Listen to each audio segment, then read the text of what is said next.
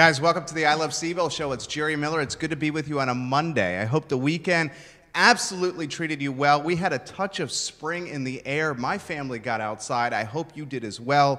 Um, I think it was truly a gift from God what transpired over Saturday and Sunday. I enjoyed spending some time in Nelson County in the Blue Ridge Mountains with my son and my family.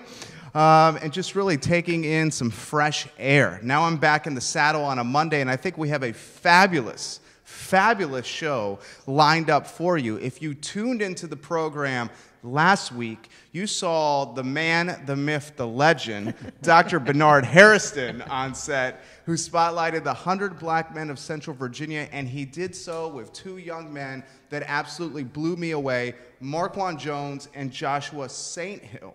As a result of the success of that program, we have welcomed Dr. Hairston one more time to the I Love CVille show, and he has brought two folks with him that I'm so excited to introduce you to. Um, Rickey White, who is the Union Run Baptist Church pastor. That's right. And the lifetime treasure at 100 Black Men of Central Virginia. Oh, no, no, we will get to that in a matter of moments, Rickey. We also have Sharon Millner on set. She is um, the mom of a fabulous young man in the 100 Black Men of Central Virginia. We will talk from a firsthand perspective, a parent's perspective of how this organization is changing the lives of the, of the youth across Central Virginia.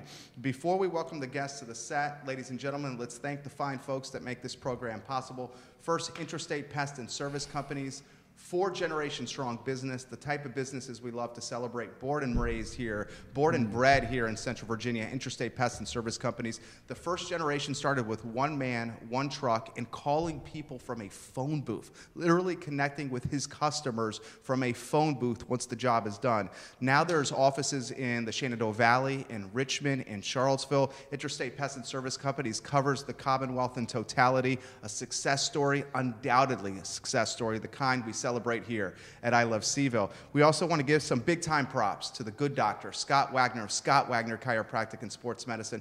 This gentleman is changing people's lives one patient at a time at his practice. Who's got your back? Scott Wagner's got your back.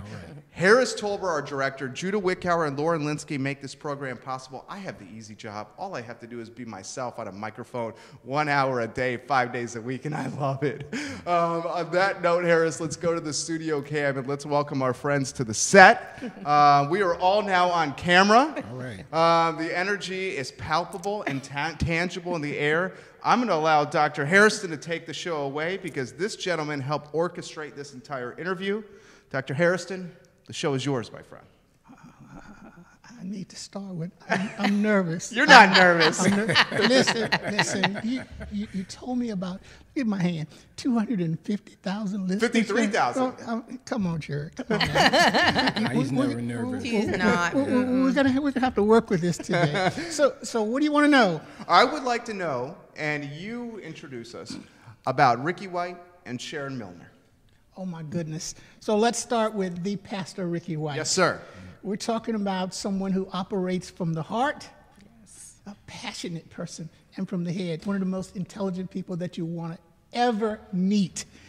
Uh, and so this he he began working with um, this organization from the beginning, from the inception. And I, I recall um, when um, moving to um, Principal Burley Middle School, I heard about this fantastic elementary teacher who's like doing all these wonderful things. All the, the students and parents just loved him, and I just had to meet this guy. And so when we started this organization, 100 Black Men of Central Virginia, and we wanted to organize this uh, summer academy to focus on math, I learned that this guy was this fantastic math teacher. Fantastic math teacher. So, hello, I need you.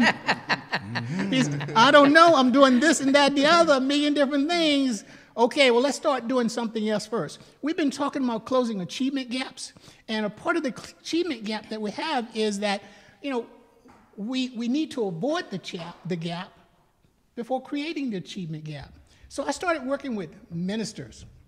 He helped me organize ministers um, in, in this area, and we educated them on what is an achievement gap. And as a result of educating them on achievement gaps, we started creating strategies with churches as to avoiding the achievement gap. And so then I was able to sell him on coming on being a member of the organization mm-hmm. and being this math teacher in our Summa Academy, and the rest is history. He's treasure for life. treasure. a math teacher would make a perfect treasure, right? Yes. Treasure for life. Oh no, it's a lot of work. Thank you for joining us, Rickey. Um, before we get to your birth story, and I'm so excited to okay. feature it, I would love Dr. Hairston to spotlight Sharon Millner. Here I'm saying, here we go. Are you ready for this show? I'm ready. So, so, so once again, okay, this this is the story here. You know, oftentimes parents don't know how to advocate for their children. Sharon is a master advocate for her children. Okay, and so I apologize, Sharon, for not utilizing you better over the last several years. We actually uh, use you at least once to provide some sort of training for parents. Right. But you are so good at advocating for your children. She uh-huh. has two young folks. They both are at UVA. They have been very, very successful students. It's because of that woman's passion and strength behind the scenes. So you'll hear about it, oh, okay, in the show. You. But just know that you have a real strong advocate, and she can tell us how to advocate for our young people. How, do, how does a 30 year old lady have two at UVA? Explain that to me. I'm having a hard time understanding that, Sharon. Please put that in perspective. Please. oh, my goodness. You have a, a lot. Uh, we'll, we'll, start with Pastor White, and you're already getting some people giving you props. Um, Cheryl Williamson says, Hi, Pastor White. God is good. Amen. Um, David Van Buren says, Hi, Pastor White. God bless you. Bless you, Dave. Okay, right. so you get some people jumping in right now, guys, and like and share the feed. We call it the birth story here. Okay. And the birth story is the evolution of the individual in Charlottesville and how he or she got to this point. So I'm going to give you an open-ended question. Put yourself personally in perspective. I know you don't like to talk about yourself, but I want to learn okay. about you. Okay. Give us the birth story, start to finish, and how you got to this point, sir. Okay, I was born in 1958 on a sharecropper's farm in Chesapeake, Virginia. Amen. Went to um, South Southeastern Elementary School on the Great Bridge, um, Junior High School, and, and Great Bridge High School. I had one teacher, Mr. Lane. Yay, Mr. Lane. Mr. Lane was a he was a white teacher in uh, Great Bridge Junior High School who actually saw me goofing around, not doing well in math class. And guess what this man did? This man actually shook me in the hallway and said, Rickey White, you can do better. He said, Tomorrow I expect you to make an A on your algebra test. And guess what? That was the first time I really went home and studied. I went home and I studied. I got an A on the math test, and from that point on, I started making straight A's in school. That's what brought me to UVA. That's why I got came to UVA. I wanted to become an architect. Uh, switched over to become a teacher. Met my sweetheart Natalie Jackson White. Well, she's white now. Natalie Jackson White. We got married. Have three beautiful children, two son-in-laws, three uh, grandchildren, and it's been a wonderful ride. I have been a teacher for 18 years I served as a minister. I've been in ministry for 40 years. I've been a pastor for 36 years. And at Union Run Baptist Church, I've actually served as pastor for 30 years, celebrating 30 years this year. That's awesome. Wow. So you're a Renaissance man. Yes, yes. sir. Is that safe to say, Renaissance yes. man? Renaissance man. or are you saying I'm an old man? That's right. That's funny. You're keeping so, me on my toes over here. Uh, give me the love story. How you met your wife? Man, my, my wife's a beautiful lady. Uh-huh. I pledged Alpha Phi Alpha fraternity okay. on the campus of UVA. Okay. We always went around and tried to find the one, the little cute girls on campus. The times have not changed. Yeah. and she became a sweetheart, you know, and then she became my sweetheart, and then I asked her to marry. I think it was about two weeks after I was dating her, and man, I said, well, I got to marry this woman. And I said, Natalie, can you marry me? And she looked up at me, and she didn't say anything at first. But then guess what? She said yes. when that happened, man, that was awesome. Nancy Porter says, "Go, Reverend White, go, baby." you, Let's get Sharon in the mix here. Sharon, give us the same. The birth story, the evolution, start to finish. I found out off air, and I don't want to steal your thunder because this is something huge. We're celebrating undoubtedly a double Wahoo, yes. multiple degrees from the University of Virginia. That is so baller. Give us the uh, give us the birth story, Sharon. Okay. Well, I am originally from Massachusetts. I am a New England Patriots fan. Um, I uh, ended up in Charlottesville. I went to UVA and I got my undergraduate degree here and as well as my master's degree, and I work in Charlottesville. And um, I've been in Charlottesville long enough that I presently have two children at UVA right now. One is an Echols Scholar. Wow. Um, the other one is um, in the McIntire School of Business. Um, and that is my son, who was a part of the 100 Black Men of Central Virginia. He started when he was in fifth grade. Um, and it's just been such a wonderful program.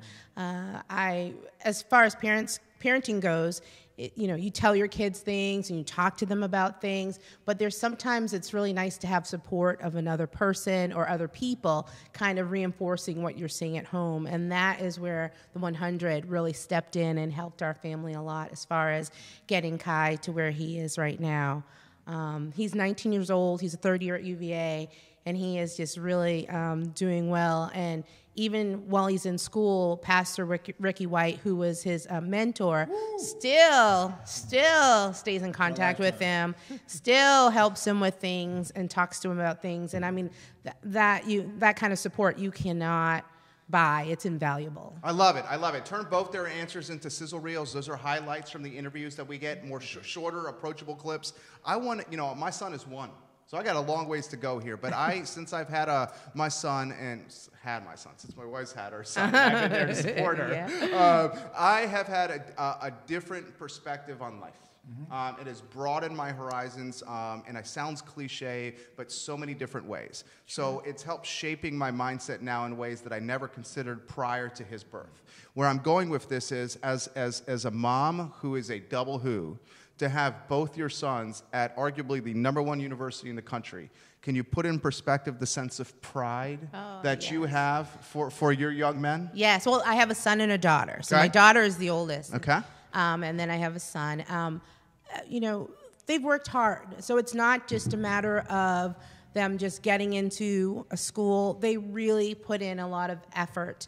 Um, they took a lot of classes, did a lot of activities. And so what I'm proud of the most is the fact that they persevered, that they worked hard.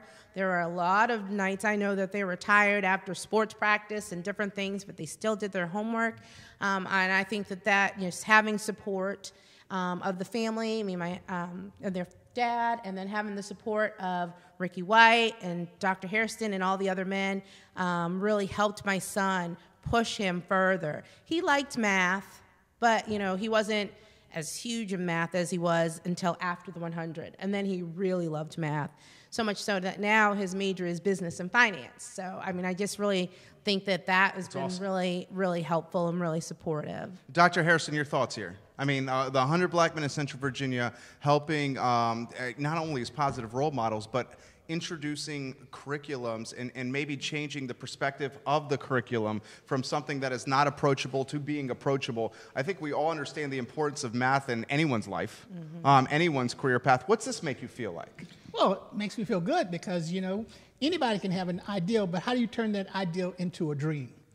It all starts with how do you make things better? And so we know that math is one of those, or algebra is one of those gateway subjects that if you can do well in algebra, you can do well in most other subject areas. So the dream in creating this MCube Academy that Sharon has talked about uh, it started with, you know, if we can prepare more students to be successful in algebra, they're going to be more successful in life. The whole mission of the 100 Black Men of Central Virginia is about uh, preparing our young men uh, to, uh, to be greater contributors to society and to improve the quality of life for this whole area through their work. So you have a Kai Millner who's going to graduate from UVA and he's going to make about $150,000. You think that's going to Lord willing the, the quality of life in this area? So we have so many intelligent black young men. he gets 10%, Kai. Remember, he's, he's, he's, he's in the Dartmouth School of Business, so he's going to take care of himself first yes. and foremost. Mm-hmm. So, you know, this work that we're doing, it's about, um, you know, providing opportunities for so many of our young men because they are brilliant.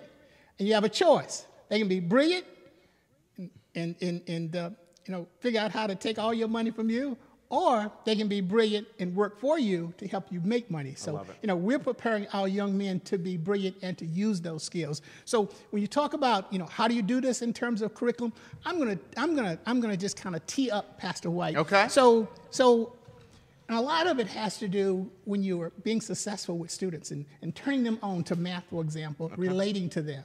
So, Pastor White created this newsletter. This, this is dated 2011, and there's a photo right here of Kai Millner, the second young man. He was the editor. Not only did Pastor White, you know, get him turned on to math, but he loved to write. And wow. he also made him the editor of this first newsletter. Right. Now, there's a whole lot of cultural relevance in this newsletter, like problems associated with funny face people. Yeah. You may want to, you may want to give that to Should him. I give it to Pastor? Uh, uh, Here we go. tell him to explain that. It's going to bring back some memories in terms of, you know, being a really, really high level educator who understands high expectations, understands how you make math fun. Exactly. Okay?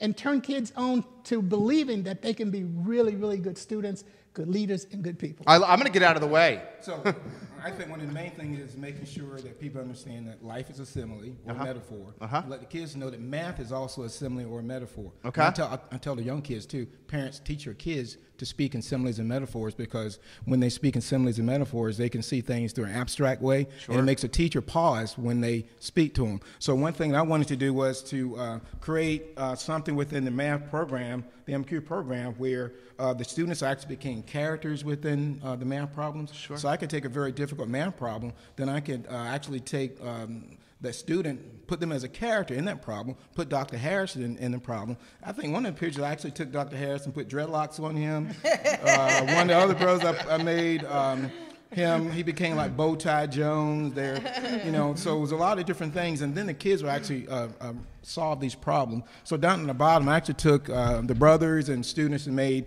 characters out of them, and then began to uh, put them in into these. You made it approachable. I made it. I made you it. made it human. Exactly. Right. Yeah. Right, human. And then I also made some characters. There's another character made called M square versus M cube. Okay. And M square versus M cube. M square was always somebody that was goofing off, messing up, you know, and but then M Cube was somebody who was always trying to get things right, to operate in the greater than and not drop down into less than. And so that's one thing that we told the kids that no matter what you're doing, you know, always strive to operate in the better, the best, uh, the bet and the good, the better, best, and not drop down into the bad, worse, and worst. I love it. And so, and I love it. It's and it's successful. The best teachers, from my perspective, I'm going to throw this to you, Sharon. The best teachers, from my perspective, took the curriculum and the content and they tied it somehow to real life, yes. so I could uh, wrap my brain around it and I can embrace that content and I would want to learn it, as opposed to keep it in, in uh, you know terms that were just textbook terms. Exactly. Where when it was textbook terms, it seemed like work when it was content that was tied to real life and what I was experiencing from a day to day basis,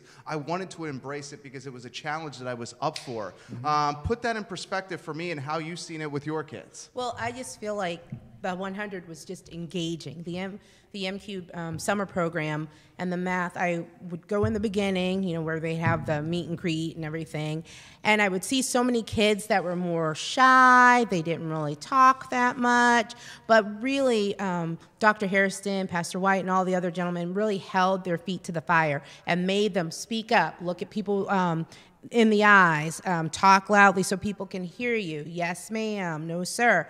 That kind of social graces that some kids in this day, unfortunately, don't really have someone telling them what to do. Um, I remember one time I had done a program for the um, where I was talking about code switching and how you talk to your friends is different than how you would talk to your parents or how you would talk to teachers at school. And so um, that was something that I thought was really important and helpful. And I just really saw so many kids because I've, they started with fifth grade and went to their senior year just blossom into such intelligent, um, thoughtful, well spoken men. And I mean, I just thought that that was amazing. I was literally, I'm going to throw this back to you because you've got me thinking here. I was literally having the conversation with a friend of mine on Friday about the value of having a skill set like code switching, where you're able to adapt perhaps your, your, your dialect, your vernacular, your body language, how you go about communicating, depending on what setting or, or who you're speaking with. Exactly. And it breeds a level of um, authentic trust and human connection mm-hmm. that otherwise is not present prevalent when you're just, you know, stiff, lacking confidence, feet down, right. hands in your pocket. Um, put that in perspective of the value that you're seeing with your kids or the youth in general? And then maybe, maybe as a second part of the question, what are some of the challenges you're seeing? Because you're still very close to it. Some of the challenges you're seeing with teens um, in, in embracing school and embracing academic success in today's environment. A lot of it's got to be tied to this darn thing, right? Exactly, Yes, exactly. yes. Well, one thing I will say is, and this is something my mom's always said good manners will get you far in life.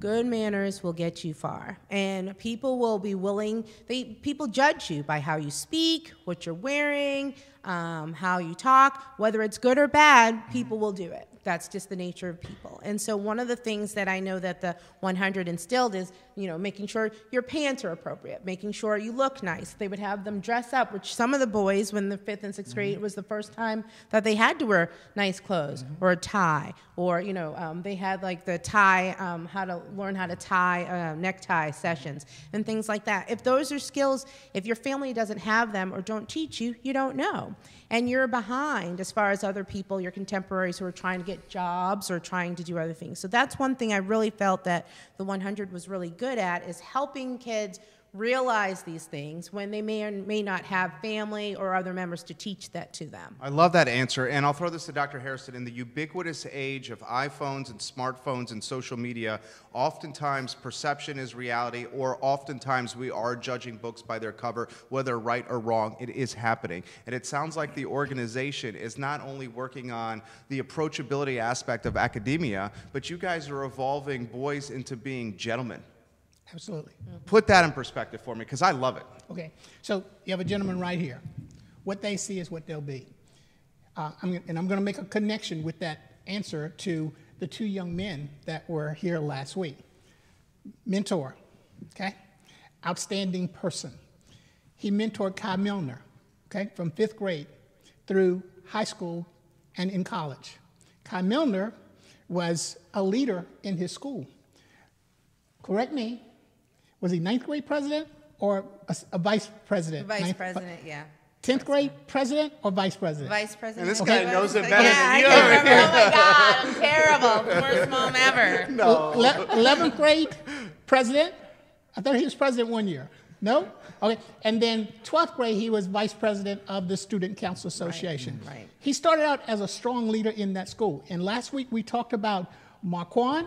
We talked about this young man by the name of Josh Beeler, who was ninth grade president, 10th grade president, 11th grade tw- president, 12th grade president. Kai opened the door for, for, for that young man. Love it. Pastor White opened the door for Kai. Guess who Josh Beeler's mentor was? Who's that? You're looking at it. I love it. Okay? I love it. Okay? And so you had Kai, Josh Beeler, Marquand Jones, and they're opening doors for other young men. Okay? Who are, you know, who are offsetting those stereotypes that you have of, of African American males, and that's the whole that's one of the primary intents intent of this organization. Look at this man right here. I love You- it. You could be him. You guys are, it's a generational impact. Yeah. It's undoubtedly a genera- generational impact that's having this like, almost like exponential viral snowball effect. Mm-hmm. If you could put that in perspective of how, I mean, you, you epitomize class, mm-hmm. I mean, education, human connection, energy, positivity. And you are radiated. You when you walked in, I felt it. Same with you. You know, I, I literally felt it when you talking walked. about me or- or- I, I, I am talking about you, sir. I mean, when you walked in, I felt it. Um, and passing that on, I mean, it's not it's not an easy task to pass that on. I remember being, you know, I was I was a leader. A lot of times I was leading in the wrong ways. You know, I was leading kids to do things that got us into trouble, as opposed to leading us to do things the right way. Um, put all this in perspective, the challenges that you face perhaps with taking someone from fifth grade through senior. Sometimes we were angry, we didn't even know why we were angry. Right, one thing, one thing that I always wanted to share is that we have to learn how to shift. Okay, you need to recognize where you are. Okay, and that's why I like using. I use it a lot.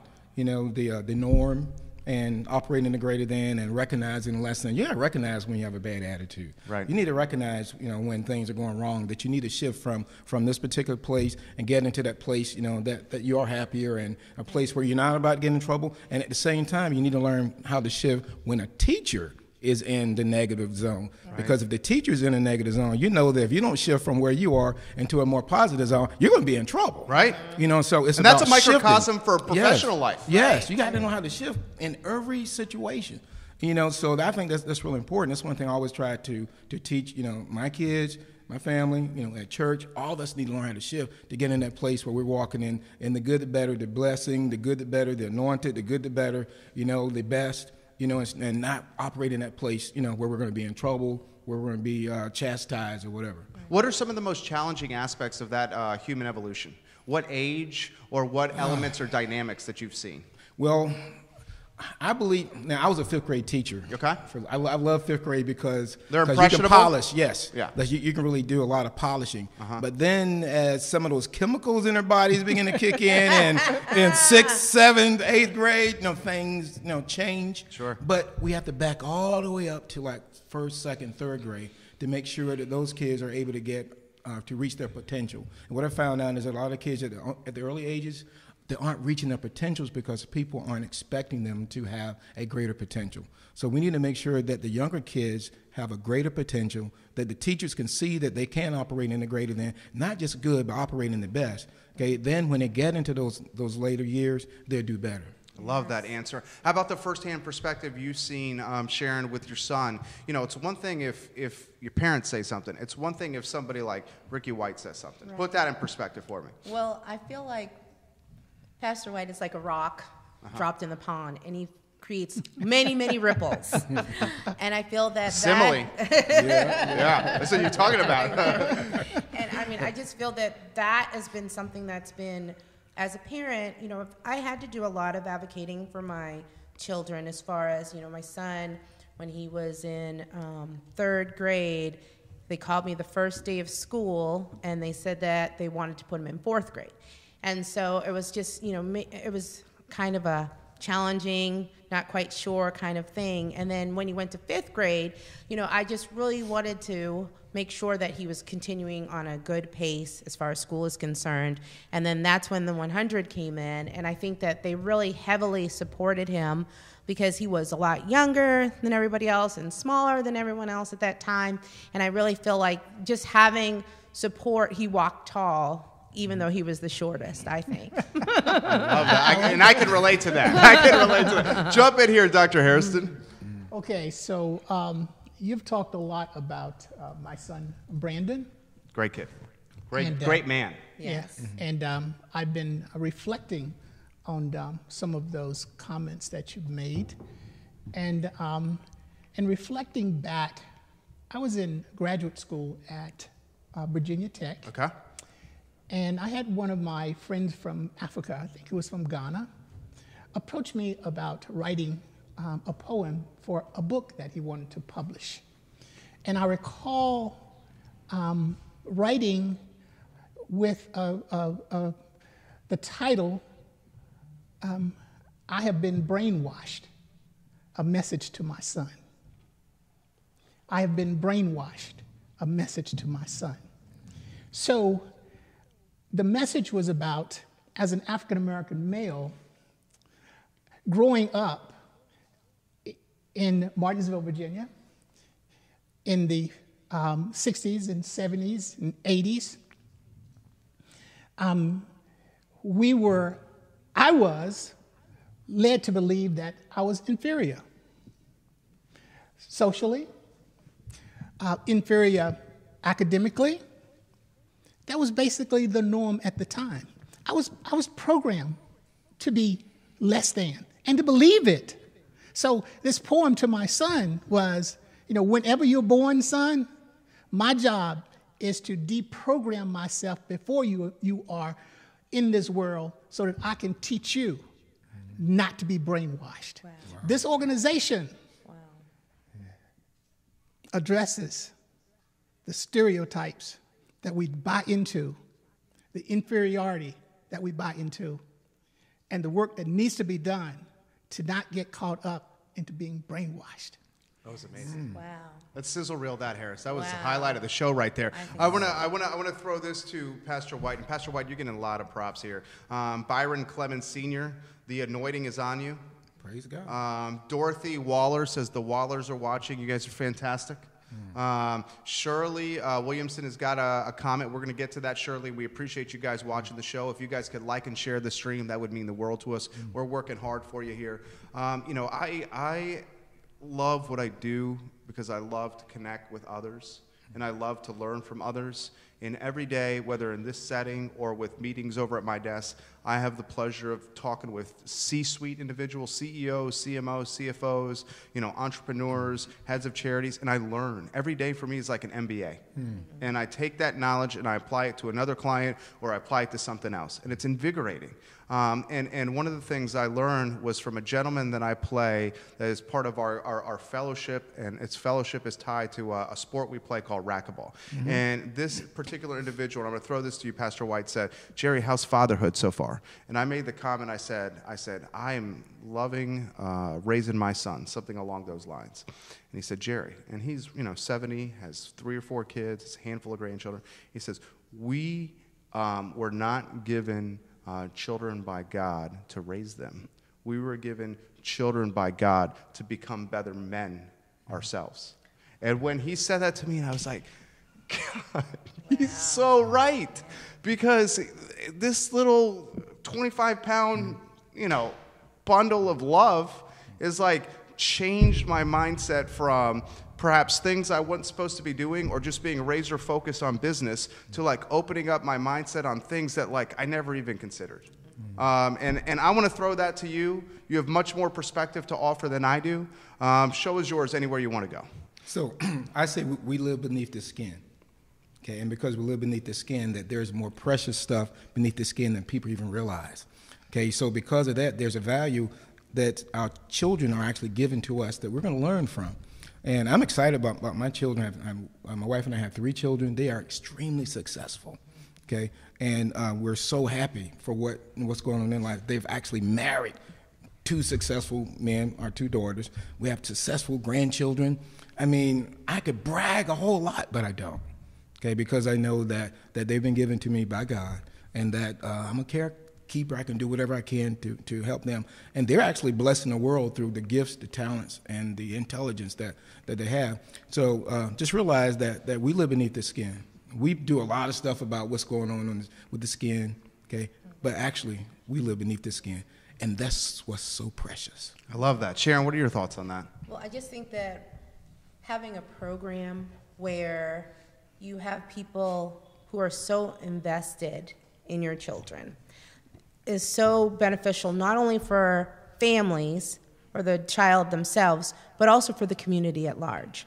Because what they're doing is helping foster strong, healthy, um, confident men who can, you know, go into a job interview and hold their own, who can um, talk to different people. I mean, they have them talk to, I mean, it was like different coaches, um, CEOs, CFOs, different people, and they were able to hold their own just because of the mentorship that they received. And I think that that is just so amazing and extremely important. How does the organization, um, Dr. Hairston, continue to evolve? It sounds like through young men like her son getting involved and you know, I think it was um, it was it was Marquand Jones or Josh St. Hill. I'm pretty sure it was Marquand Jones who said this um, in the previous show when he had um, when he encountered um, Dr. Bellamy, and Dr. Bellamy knew the music, and he and, and he could talk the talk, and he at the same time knew the curriculum and was able to educate, inspire, and and and open up minds.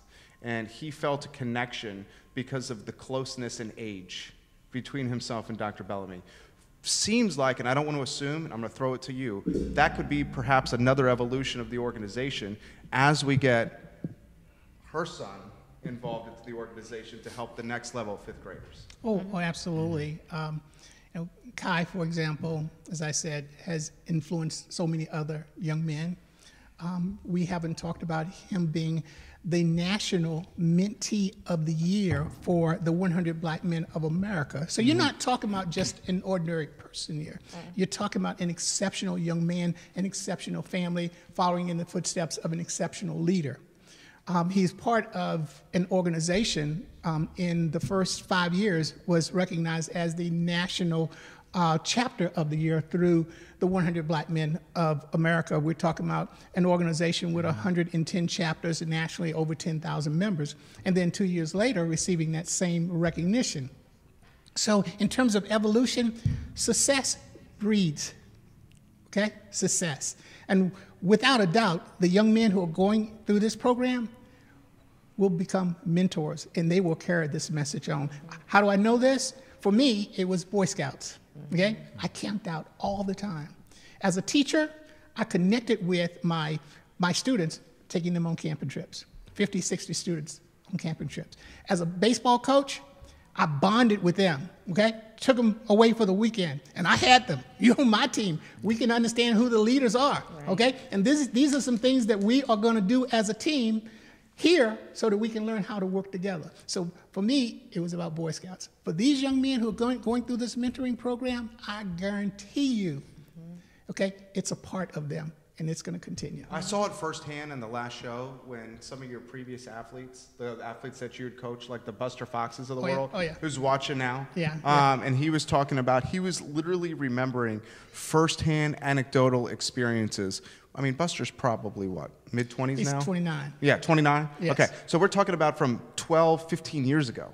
And he was talking about down to the T. I mean, dotting the I and crossing to the T of the firsthand perspective and experiences and life lessons that you had taught him through sports. It's got to make you feel pretty good. Oh, yeah, oh, yeah.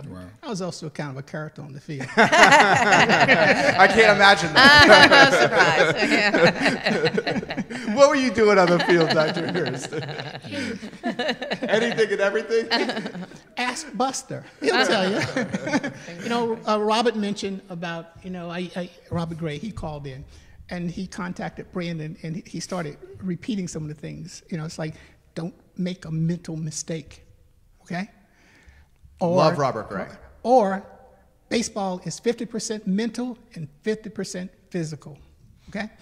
Um, and so it's just little things like that that they picked up on and remembered, and those things will carry over. Same thing with this organization. You know, those young men who are going through the program, they will definitely give back to the community. What are some of the challenges, Pastor White, that our youth are experiencing today? Challenges that are different than perhaps when I was coming up through the ranks. I mean, is, is the technology one of the biggest distractors?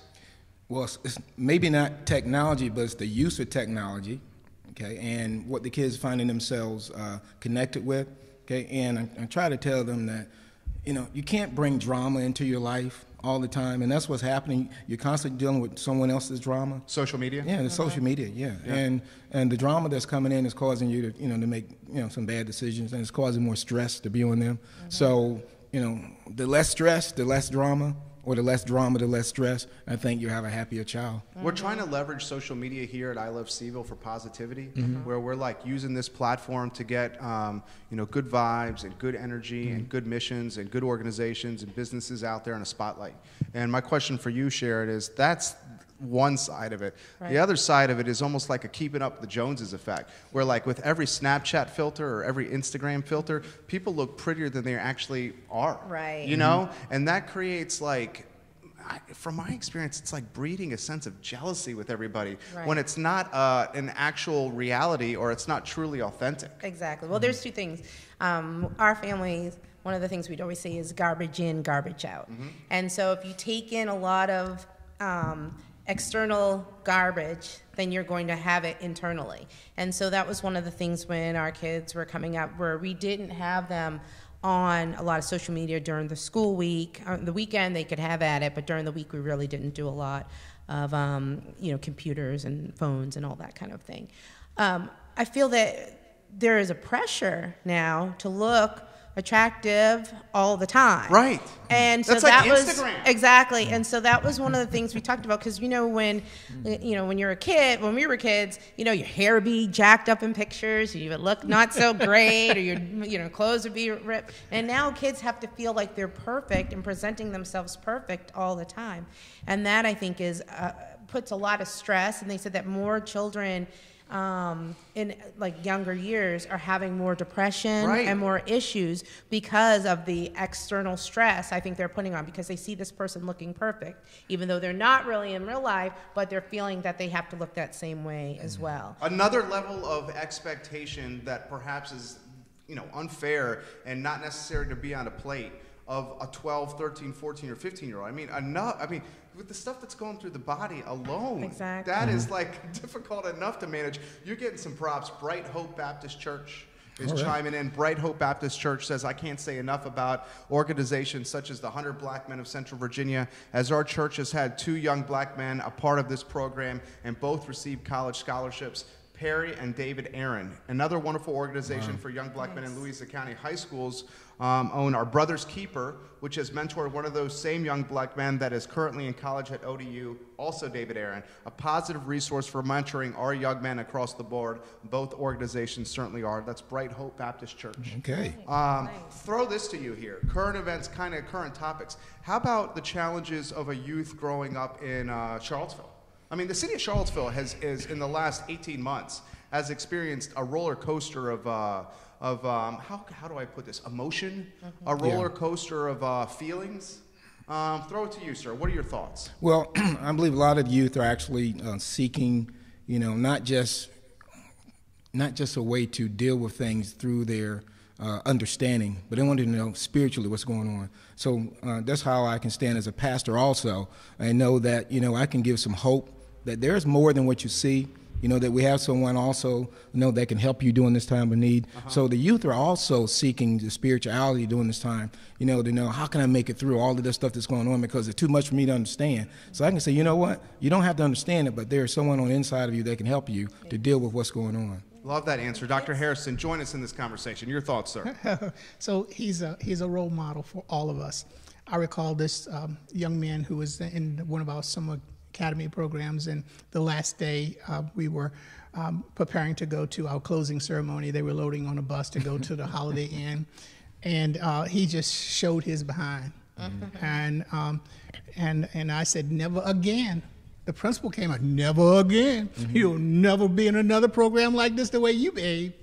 Next year, Pastor White said, we gotta we gotta bring him back. We gotta bring him back and and I'll just take him in my class. He was teaching a seventh grade class at the time, and this young man was a sixth grader. He said, I'll take him in my class. He never gave up on that young man. That young man right now is a junior in high school. He's excelling academically, he's excelling uh, at- athletically. He's a superstar at his high school, and I mean a real superstar because he never gave up on him. And there are just so many other uh, examples of that. Are our youth, Sharon, more connected with current events than ever because of the iPhone and because of social media and because of technology? I mean, growing up, I've, you know, and maybe I just grew up in a bubble, or maybe it was my parents that protected me from the, the stuff that was out there. Um, and maybe that's a good call, or maybe it's a bad call because having a sense of insulation is not always real life. Um, are youth more aware of what's going on now and more than ever? I, I do think so because the, you're able to access so much information, and it just depends upon where you're receiving this information. Um, because you know there is a lot of false information out there today, and I think that's why so many people are stressed. You know, because we're seeing so many things and things that are negative um, on a day-to-day basis. And that can really induce stress and especially when younger people who don't have their brains quite formulated it can be really challenging how to synthesize and how to um, you know just understand what it is that you're seeing. And so one of the things i know that i for with my children is we talk a lot about a lot of the things that they're seeing that their content of what they're looking at. Um, and i think that's really important like if you have questions about it or if you need to talk about it or if there are things that are making you nervous or scary i mean that is uh, something that's really important to have support systems in place. And a lot of children don't. Um, one thing about the 100 is I always felt that Kai, when he had issues or things, he could call Pastor White and talk to him about some of the things that were making him nervous, um, the things that happened after CVille um, in um, August. Um, I mean, just a lot of things where people were feeling a little bit unsettled, and so I think that it's it's support systems. That's what you mm-hmm. have to have in place in order to kind of understand this information that's being disseminated at such a mm-hmm. rapid, rapid rate. I got a follow up to that. That answer was so poignant and so on point. I got a follow up to that, and it's and it's tied to what happened this past week in Charlottesville City Schools. My, again, my son's oh, one. yes. We were talking about this with uh, I was talking about this with my wife. What we would do or what we wouldn't do, and and just a, a, a snapshot for our viewers. We know Charlottesville City Schools were closed for a few mm-hmm. days. Was it a few days? Dr. Two- Hairston? two Two days, days. yeah. Two days because of an online threat of, uh, of, uh, of uh, armed gunmen coming into the school to do harm. Right. And the question that we had over the dinner table, and we have a long way before we have to deal with this, but still, was it's prevalent and it's on topic. And the question was, is how would we handle that with our son if he was in that situation because the school is supposed to be a safe environment, Exactly. an environment for like open-mindedness and learning and become and a rite of passage, Right. If you may, how does a parent does a does a parent and I know it's unique to every family, Right. Um, is a parent up front and say this is what's happening, or does a parent try to sidestep and side skirt that? And I want your mm. perspective as well on that, sir. Well, you can't. Okay. You cannot sidestep it or side skirt it because then your children won't be aware. Hmm. And so, I mean, it, you know, you have to do what's age appropriate, Okay. of course, because you don't want to scare them so much. Hmm. But they do have to be vigilant in this day and age as far as looking. One of the things I, with my children, I'm like, you cannot wear headphones when you're out in the world. You cannot be looking down at your phone when you're out in the world. You have to be alert and aware of things going on. advice. I mean, mm. because people, you would think that it'd be safe to go to school, go to the grocery store, go to the movies, and be okay. And in this rough time right now, I mean, you really just have to be aware of your surroundings and what's going on. And mm. that's one of the things that I think we talk about the mm. most. Because, I mean, as a parent, it is scary, you know, when your children are in the world and you're not seeing them day to day, and you want them to be safe and to stay safe. And that's probably one of the best ways, I think, is just really being mindful of your surroundings and where you are. What are your thoughts, Pastor White? Well, since you said Pastor White, I can change, make sure I'm changed from just being a hundred black man to a pastor. How about, there what, are are your, how about what are your thoughts, Rickey? what are your No, you thoughts, said Rickey? Pastor White first. Rickey, as, as a man, what are your thoughts as a man? man, I was ready to. All right. Praise. Well, as, as a man, Yes, I- sir. As a man, I still have to look at things uh, spiritually because I know that there is more going on than what we see. Okay. So therefore, I have to utilize those tools within me to deal with those things that are more complex than what we can understand. So that's why I have to utilize tools such as prayer, and I utilize tools such as reading God's word to find out what's happened spiritually. It's happened before. How did they deal with it? So how are we going to deal with it today? So as a man, I pray. As a man of God, I pray. At the same time, I stay concerned and I stay vigilant. I love it. Dr. Hairston, your thoughts? So, as a part of the organizational structure of the 100 Black Men of Central Virginia, we uh-huh. realized that parents need to talk to their children. Mm-hmm. Uh, their children need to feel comfortable talking to them. So, if we accept you as a parent in our organization, you have to sign off an agreement that every day, as a part of our MCube Academy, you will have a conversation with your child about what they experienced that given day. And and you can't accept well how did things go today? Okay. What did you do today? Um, nothing. We we work on training them to have those conversations. So when situations such as CVille or any other situation comes up, they feel comfortable sharing with their parents because they're accustomed to having conversations with them each and every day. The other part of the program is that we build in opportunities for them to collaborate as individuals, to stretch each other, to think and not, and to to challenge each other, to uh, to uh, have an ideal, to defend that ideal, um, and to argue, debate, etc. Those ideals to prep them for looking at different points of view. It's, so when they're talking to their parents, they're comfortable expressing themselves. Was that kind, you said you grew up in Martinsville? Absolutely. Okay, was this kind of like um, vulnerability or this kind of concern, and I'm talking about what happened in Charlottesville High School, the, you know, this past week. Was this kind of like activity or mindset prevalent when you So- were there? So, so, so, so Jerry, I attended um, an all-black elementary school, Uh-huh.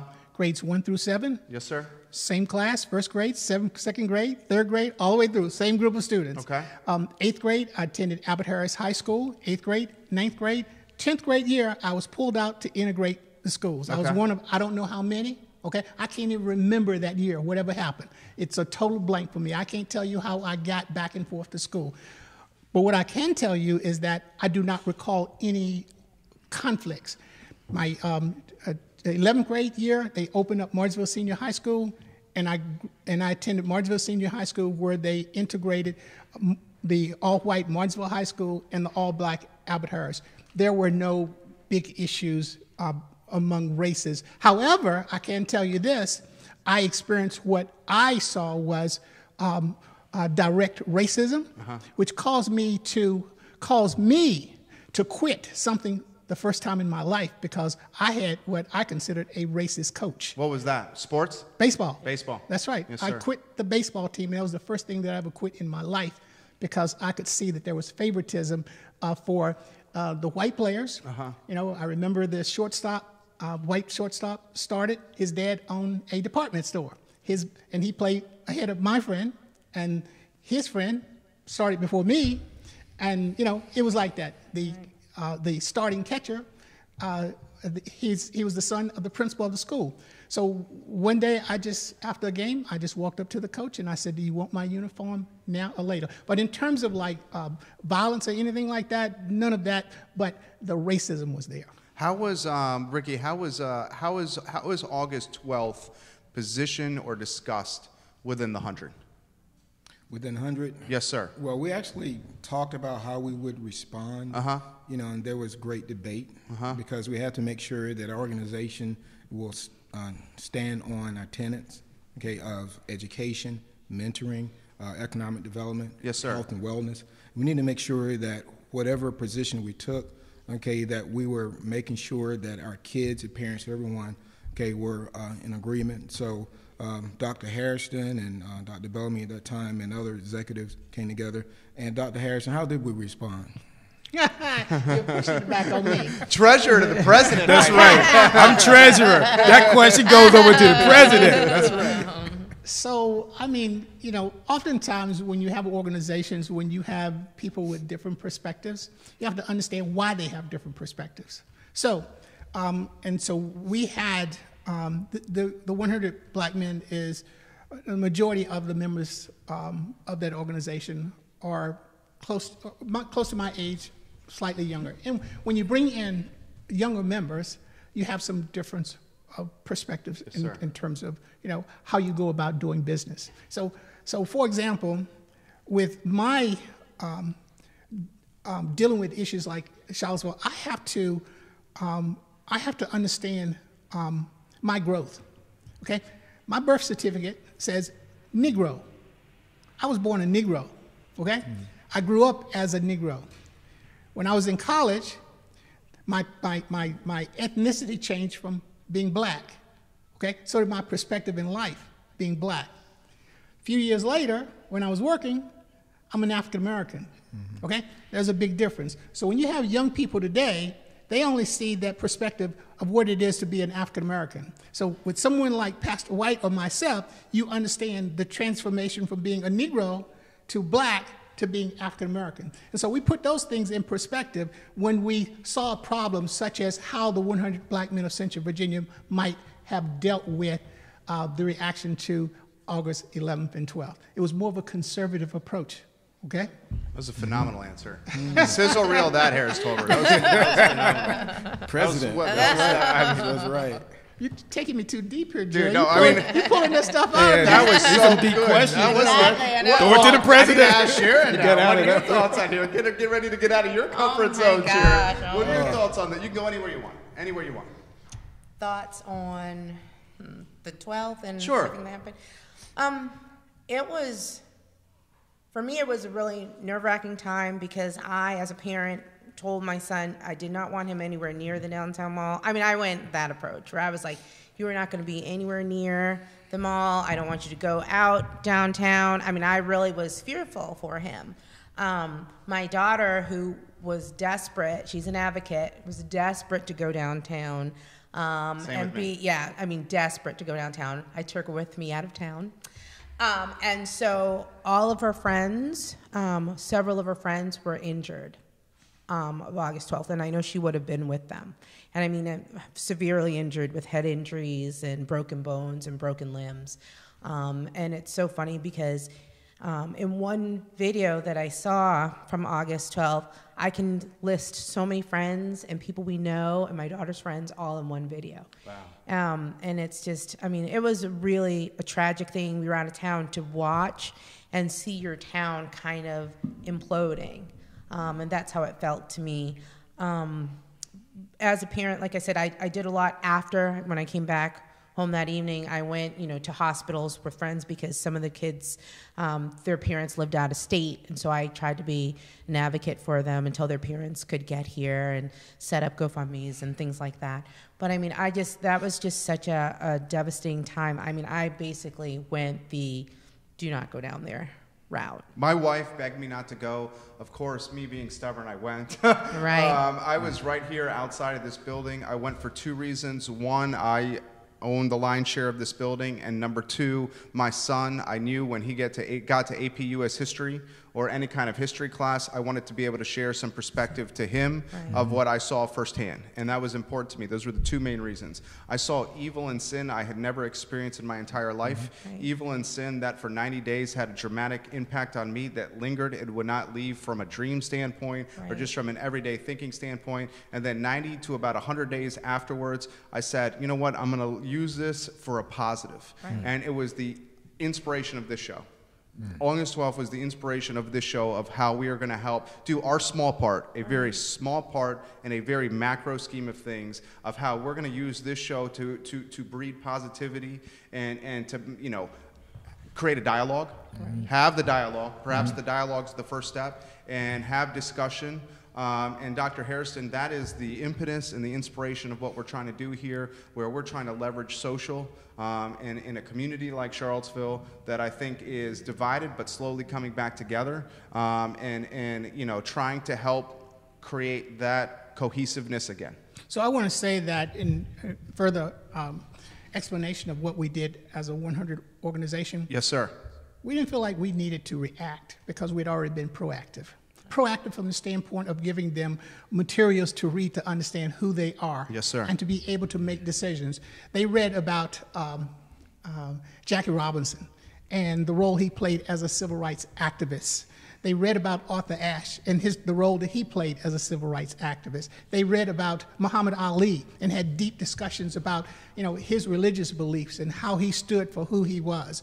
Um, and then even after uh, August 12th, we had what we call a Saturday, Saturday Academy, and we pulled out Frederick Douglass's famous speech. Okay, I can't remember what year it was, but Fred, Frederick Douglass was an, an orator. I mean, like gifted, and he wrote this this fantastic speech that you know kind of um, went above the heads of. He spoke. This is a a, an, um, a slave who freed himself from. He ran away. Sure. And, and, and he went north and uh, he taught himself. Um, he educated himself and he became a national speaker. And he spoke to a, a, a, a, a, a group of um, uh, elected officials, all white. And he said some things that they didn't even understand what he said. And he was basically, you know, being very, very critical of their way of doing business and the way that they related to, to, to Negroes at that time. And so we use that speech to help them understand who they are, what their history is, and how they need to be prepared to respond to situations like August 12th, not having you or anyone else to tell them how they should make a decision, but they make them decisions as independent people and independent thinkers. You're on fire today. Mm-hmm. You're on point today. you are on point today.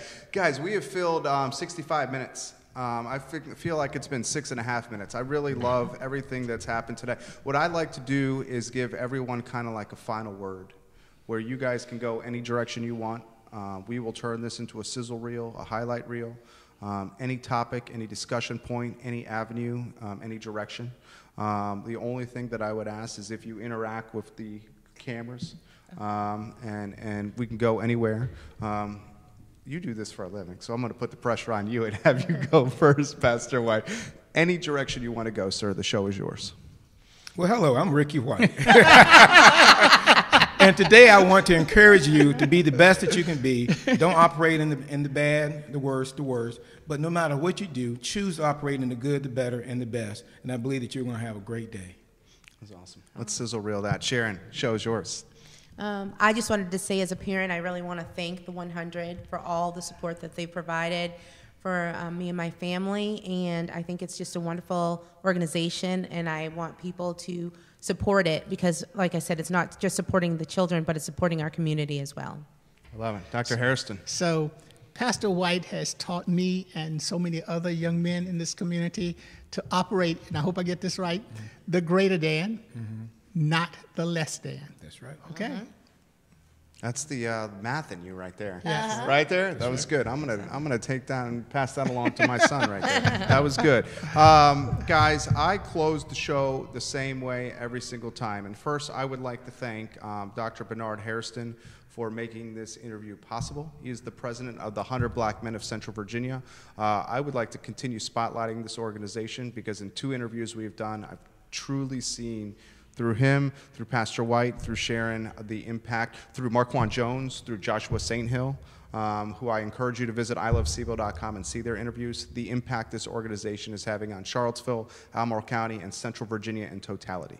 Um, and I close the program the same way every time, two ways. Um, folks, if you give more than you take, you will make the world a better place and you will probably end up winning in the end anyway. So please give more than you take. And I promise you it's going to make you feel good and it's going to make our community even fantastic, more fantastic than, than it already is. And, and the last thing is, is the golden rule. And I'm not going to make this um, about religion, but I am going to make this about treating others as you would want to be treated yourself. And I think now in 2019 in Charlottesville and now in 2019 in the Commonwealth and in the globe in totality, we need the golden rule more than ever. Um, so please, ladies and gentlemen, open the door for somebody. Let someone go ahead of you at a red light. Say hello to somebody when you're crossing the street. Just be nice. Treat others as you want to be treated yourself and watch what happens to our community. Um, my name is Jerry Miller. Tomorrow we are going to have um, Bellamy Brown on set. And I'm going to introduce you to a leader in our community that is making some big time moves in the city of Charlottesville and perhaps some breaking news from Bellamy Brown. Um, it's the I Love CVille show. My name is Jerry Miller for Harris Tolber, our director, Judah Wickhauer, our producer, Lou, Lauren Linsky, also our producer upstairs. I truly enjoy connecting with you in this platform, and I look forward to seeing you on Tuesday at 12:30. Enjoy your afternoon. Great, thank you. Thank you.